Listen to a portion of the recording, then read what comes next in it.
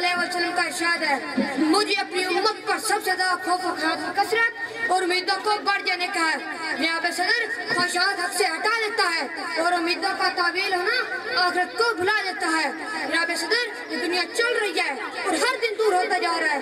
آخرت بھی چل رہی ہے اور ہر دن قریب ہوتا جا رہا ہے۔ یعنی ہر وقت، ہر آن یہ زندگی کم ہوتی جا رہی ہے اور موت قریب آتی جا رہی ہے۔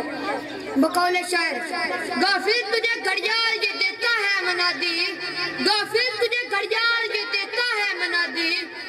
نے کھڑی عمر کی، ایک اور گھٹا دی۔